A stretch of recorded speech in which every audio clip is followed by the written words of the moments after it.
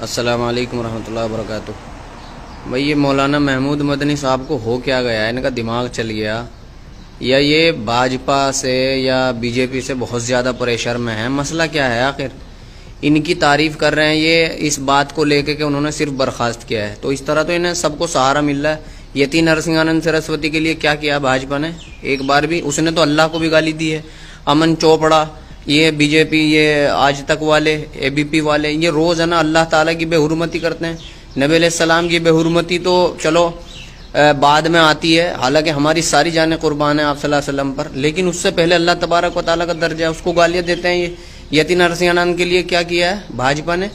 ये जिम्मेदार पार्टी है। मौलाना अपनी जबान को ना, जब आपको जो है कौम एक तरीके से नकार रही है, पूरी कौम आपको, उलमा आपको नकार रहे हैं, क्योंकि आप दबाव में हैं, ज़रूर दबाव में है। वो महमूद मदनी नहीं रहा, आप जो पहले कभी सोनिया गांधी के टाइम में वहाँ उसमें रामलीला मैदान में चिंगाड़ता था, दहाड़ता था, अब बुढ़ापे में ना तुम्हें शोहरत की और क्या कहते हैं, उसकी तलब हो गई है जीने की। अपने माल का लालच हो गया बुढ़ापे में, तुम्हारा दिमाग सटिया गया है मौलाना। ये जिम्मेदार पार्टी है, क्यों नहीं कहते कि कातिलों की पार्टी है, कातिलों को सपोर्ट करती है?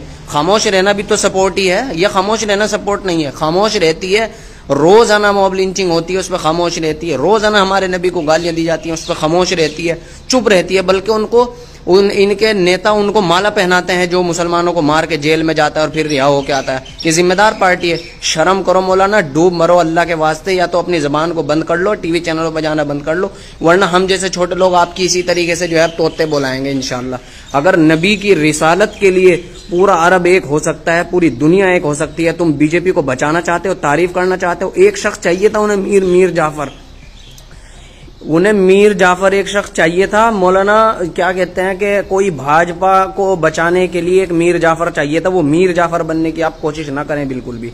और ये आपके लिए अच्छा नहीं होगा। ये एक हर उस उम्मती की आवाज़ है। ये हर उस उम्मती की आवाज़ है जो अल्लाह के नबी सलाम से मोहब्बत करता है। अगर आपने बीजेपी की तारीफ़ करने की कोशिश की, खुदा की कसम, सारा मुसलमान आपके खिलाफ होगा इंशाल्लाह और हम करने की कोशिश करेंगे। दुनिया की हर खबर देखने के लिए सस्ता मीडिया को सब्सक्राइब करो और साथ में बेल आइकन को दबाएँ ताकि लेटेस्ट वीडियो सबसे पहले आप तक